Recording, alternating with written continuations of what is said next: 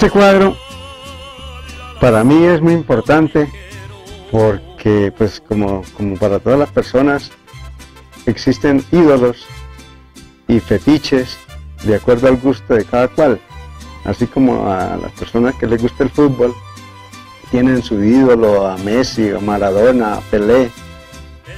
Eh, los que les gusta el boxeo tienen su ídolo. A mí me gustan los caballos y especialmente los caballos de rejoneo. Entonces, el ídolo para mí es Pablo Hermoso de Mendoza. Y es tan importante este cuadro porque fue la primera vez que yo tuve la oportunidad de verlo personalmente en una corrida en Duitama. Fue una tarde apoteósica.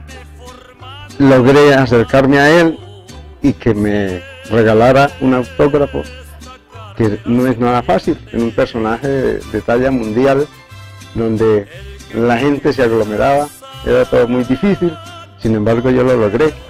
Pero primero que todo, preguntémosle a don Eduardo, ¿de dónde es su afición por los caballos? Bueno, Diego, mi afición por los caballos viene desde muy niño. Yo recuerdo que cuando yo era un niño, veía un caballo en la calle y yo me le trepaba como fuera. Cualquier campesino que dejara por ahí un caballo, yo de alguna manera me montaba en esos caballos. A mí siempre me gustaron. Hace muchos años compré una yegua, por allá yo vivía en el Magdalena Medio, compré una yegua que la llamaba la gitana porque se la compré a unos gitanos. Yo no tenía ni idea de cómo se aperaba un caballo, no tuve con qué comprarle una pero, yo la montaba en pelo.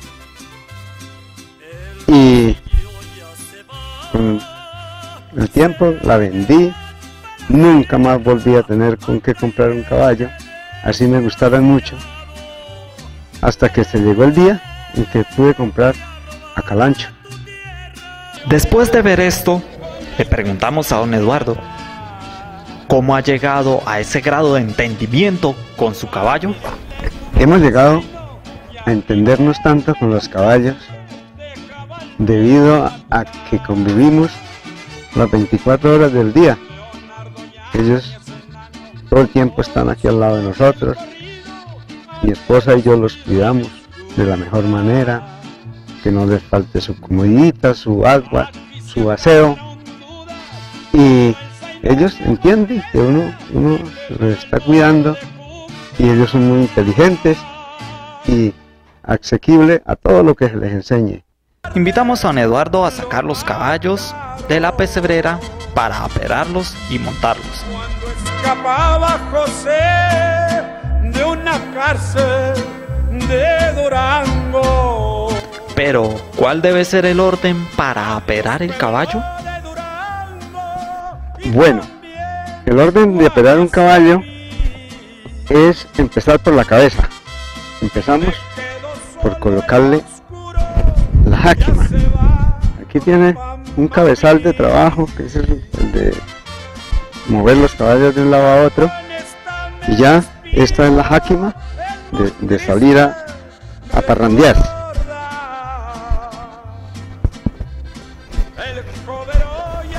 Con una trenza para que quede fácil de, soltar en cualquier momento.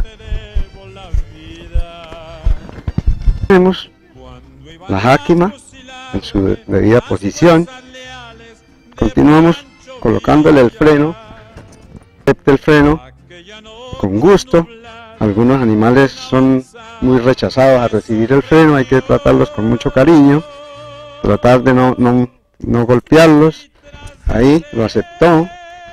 Ya, tranquilo, ya el tranquilo aceptó su freno. A continuación, seguimos con la postura de la silla. Siempre se ha dicho que, que los caballos se deben aperar por el mismo lado, siempre. Siempre debemos aperarlo por el lado izquierdo. No sé hasta qué punto eso tenga razón, si sea costumbre o qué, pero esos son los cánones que nos han enseñado. Con la, con la alfombra bien igualadita. Con, vamos suavemente, lo acomodamos. Más, más delantera que trasera, igualamos, acariciamos el caballo para que él se sienta que no lo estamos atacando, que esté tranquilo. Una, sobre alfombra como para actos especiales, para un desfile o para una presentación, que se la colocamos sobre las demás alfombras, solamente como para delicada.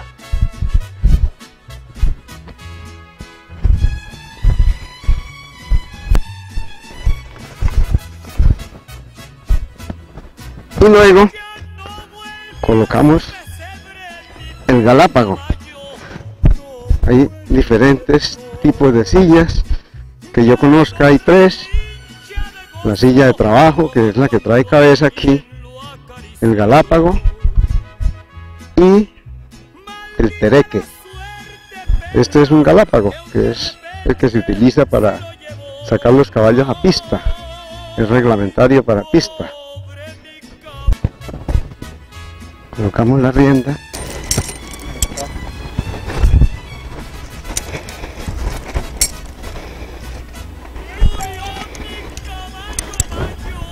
Listo.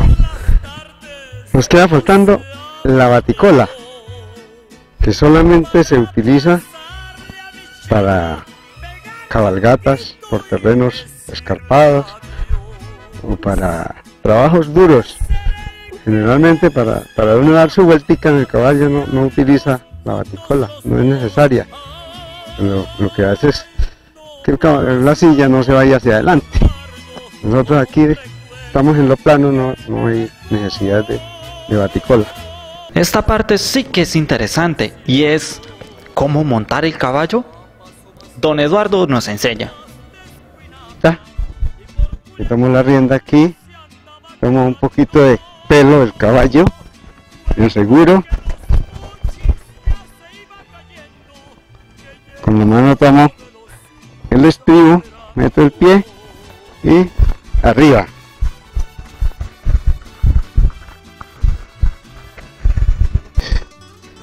Igualmente tomo las riendas y en dos tiempos, un tiempo